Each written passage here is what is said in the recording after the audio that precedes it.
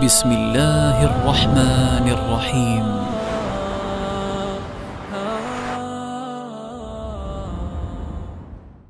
بسم الله الرحمن الرحيم.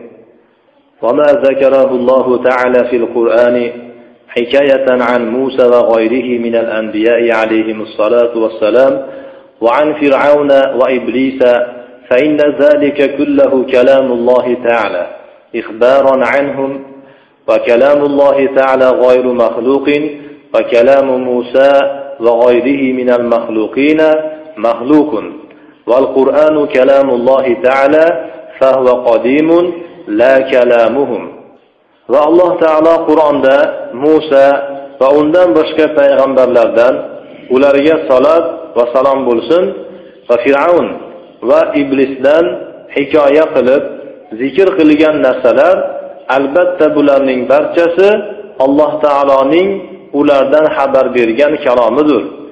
Va alloh taoloning kalomi maxluq emasdir.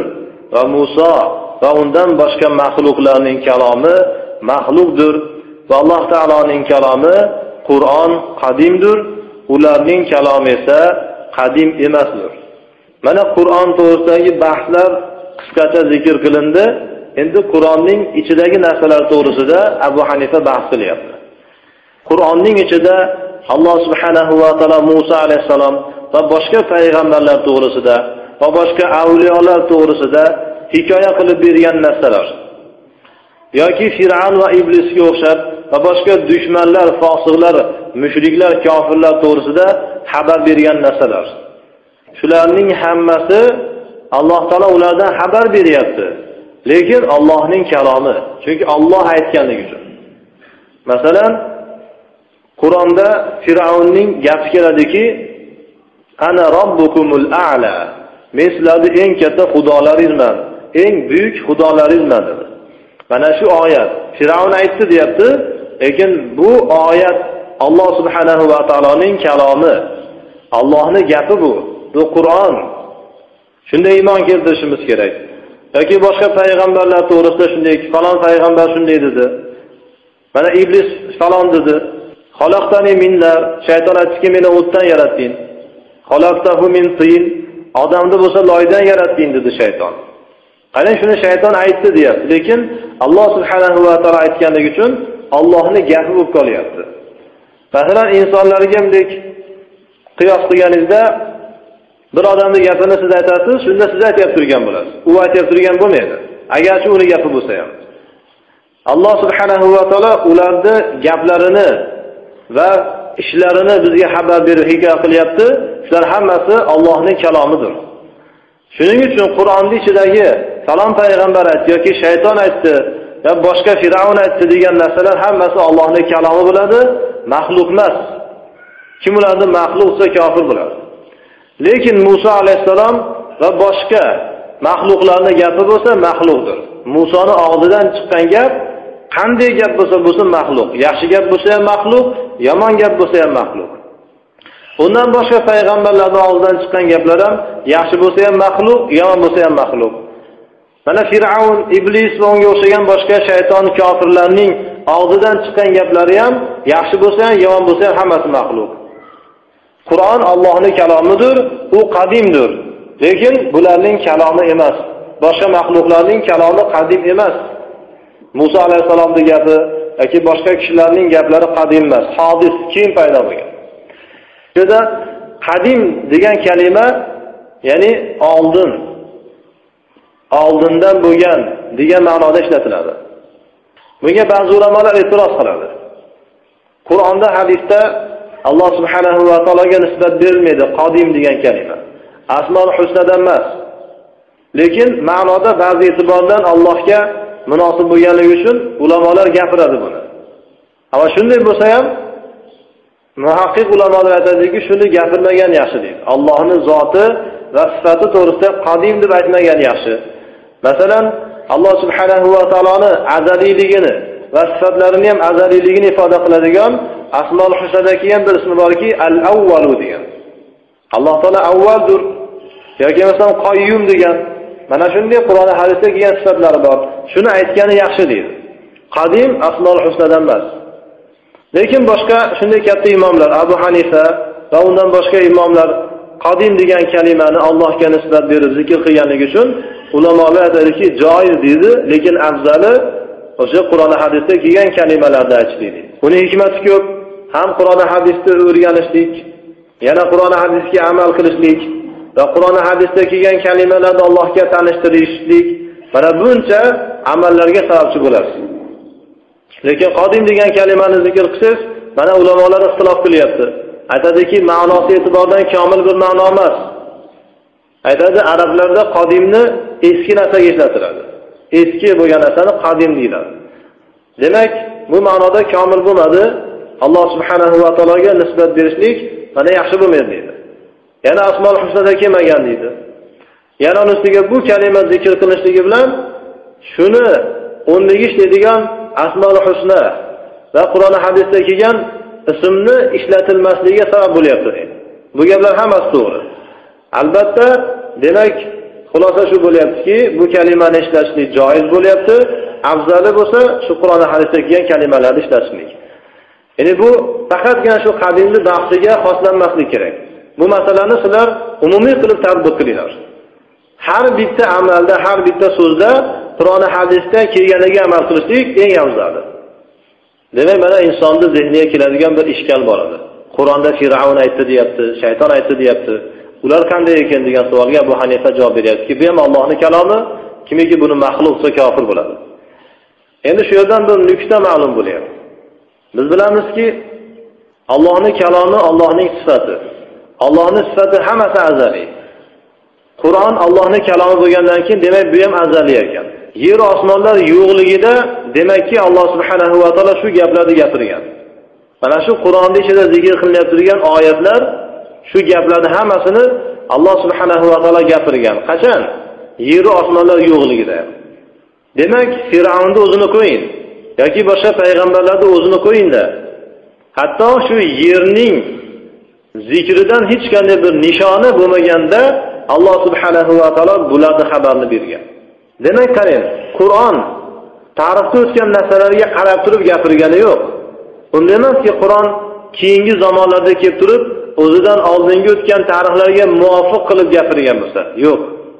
Qani? Bizni odamlar shunday tushunadi. O'yladiki qur'on mana muhammad alayhissalomga nozil bo'ldi va o'zidan oldingi o'tgan voqealarni shu voqelikka munosib qilib gapirdi deydi. Unday fikr qilmanglar. Teskarisi balki bu voqelik qur'onga munosib bo'lyapti. Balki o'sha hodisalar o'tgan voqealar hammasi qur'onga qarab bo'lgan. Qarang fir'avn ana robbukumul a'la degan ekan. Bir zamonlar mana tarixda tug'ilibdi katta bo'libdi podsho bo'libdi. Keyin o'zidan ketib kibr qilib men eng katta xudoman debdi. Men eng katta xudoman degan gapini alloh subhanahu va taolo yer osmonlarni yaratishdan oldin aytib qo'ygan. Ko'rdingizmi? Demak qur'on shunday bir qonun ekanki shunday bir dastur ekanki butun mavjudotlar xohlasa xohlamasa shu qur'on ko'rsatgan yo'ldan ketadi xohlasa xohlamasa. Ko'ring. Mana fir'avn men eng katta xudoman degandek eng katta gunoh bo'lgan bir amalni qildi men eng katta xudoman dedi. Ammo shu gapni gapirishligi bilan u baribir ollohni qo'ygan qonundan tashqariga chiqmayapti. Alloh subhanahu va taoloni ilmidan tashqariga chiqolmayapti alloh subhanahu va taoloni qadaridan tashqariga chiqolmayapti. Olloh aytib qo'ygan edi shu aytganiga muvofiq qilib aytyapti. Endi bundan keyingi hayotimizni qur'onga munosib bo'lishligi to'g'risida hech o'ylanib o'tirmaydi. Tariximiz hammasi qur'on aytgandek bo'lgan va bundan keyin ham qur'on aytgandek bo'ladi. Men ko'p aytaman qur'on faqatgina insonlar uchun emas dasturligi qonunligi. Qur'onning qonunligi butun koinot uchun butun mavjudotni qonuni bu qur'on. Butun koinot mana shu qur'onni qo'ygan qonunidan ketsin. Mana yeru osmonlar ularni ichidagi narsalar yulduzlar quyosh oy daraxtlar shamollar farishtalar jinlar hammasi shu qur'onning qonunidan tashqariga chiqolmaydi. Baribir qur'on aytgan yo'ldan ketadi. Mana quyoshni qayerdan chiqib qayerga borishligini qur'on aytib qo'ygan. Yerni qanday aylanishligini qur'on aytib qo'ygan. Shamolni qanday esishligini qur'on aytib qo'ygan.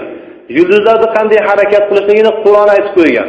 Shu qur'ondan tashqariga chiqmaydi alloh subhanahu va taolo insonga ham aytdiki shu qur'onga amal qilib yashagin dedi. Ammo bizga ixtiyor berdi. Mana yulduzlar quyosh oylarning harakati majburiy. Ularda ixtiyor yo'q. Xohlasa xohlamasa qur'on qo'ygan qonundan ketadi. Inson bilan jinga alloh taolo ixtiyor berdi. Mana qur'onni qonuniga amal qilib yashanglar dunyo oxiratda aziz bo'lasizlar dunyo oxiratda saodatli bo'lasizlar. Qur'onni qonuniga amal qilmasalaringiz dunyo oxiratda xor bo'lasizlar rasvo bo'lasizlar deb qonun qo'ydi.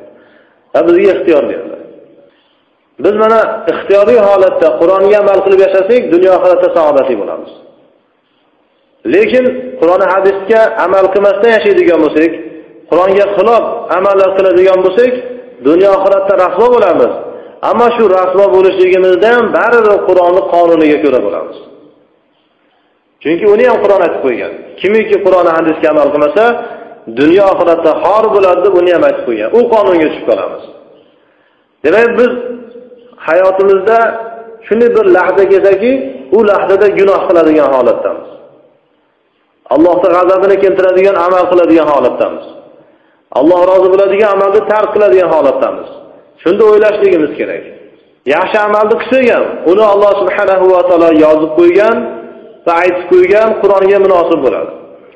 Yomon amalni qilsak ham olloh uni yozib qo'ygan aytib qo'ygan qur'onda zikr qilgan holda bo'ladi undan tashqariga chiqolmaymiz ammo shunday fikr qilishligimiz kerakki agar biz yomon yo'lga ketadigan bo'lsak gunoh amalni qiladigan bo'lsak savob amalni tark qiladigan bo'lsak demak biz badbaxt insonlardan ekanmiz. Qur'onda bular kofir mushrik fosiq mufsid munofiq najas jahannamga o'tin bo'ladi degan kishilardan ekanmiz biz. Qarang. Qoling shunday yaramas inson badbax inson bo'lishlikni o'ziga ravo ko'ring. Qolin saodatli baxtli inson bo'lishlikni o'ziga ravo ko'ring. Haligi gunoh qanchalik sizga nafsingizga munosib kelsa ham dunyoviy qancha foydasi bo'lsa ham tark qilib oxiratni yo'lidan ketsangiz qur'oni hadisni mahkam ushlaydigan bo'lsangiz unda xursand bo'lingki qur'onda maqtalgan payg'ambarlar avliyolarni yo'lidan ketyapman. Shu yo'lda mahkam ushladim deb xursand bo'ling. Mana fir'avnni qarang namrudni qarang. Ibrohim alayhissalom aytdilarki namrudga sen xudo emassan. Sen hech qachon allohga teng kelolmaysan. Sen bir maxluqsan. Alloh subhanahu va taolo tiriltiradi va o'ldiradi. Shunda namrud aytdiki men ham tiriltiraman o'ldiraman namrud aytyapti qarang qur'onda kelgan? Men ham insonni tiriltiraman o'ldiraman. Ikkita odamni chaqirtirdi ikkita odam olib kelinglar aytdi ikkalasini ham o'limga hukm qildi ikkalasini ham o'ldiringlar. Bittasini o'ldirdi. Qara men ham o'ldiryapman. Men ham xudoman. Ikkinchisini mayli o'ldirmanglar qo'yib yuboringlar qani buni tiriltirdim? Xohlasam o'ldirardim. Demak men ham o'ldiraman tiriltiraman. Men ham xudoman shu gapini qur'onda zikr qilyapti alloh taolo. Qarang olloh bilgan. Yer osmonlarni yaratishdan oldin falon tarixda bir fir'avn namrud degan bir habis najas odam dunyoga keladida alloh taolo unga shuncha ne'matlarni beradi podsho qiladi. Ammo u allohga qarshi chiqib xudolikni davo qiladi deb alloh taolo yozib qo'ygan edi aytib qo'ygan edi o'sha aytganiga ko'ra bo'ldi. Bechora namrud undan tashqariga chiqolmadi. Qarang. Har bittamiz o'zimizga shunday baho berishligimiz kerak.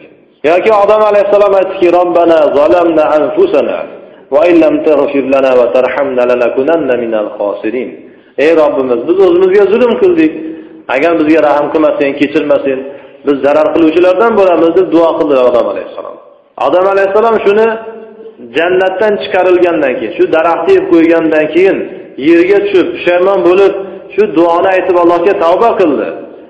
Ammo u gap qarang yeru osmonlarni yaratilishligidan oldin alloh subhanahu va taolo tarafidan aytilgan. Robbana zalamna anfusana degan duo qarang qur'onda kelgan allohni kalomi. Qarang qancha katta narsalarni bizga bayon qilyapti. Mana qur'on mana shunday kitob.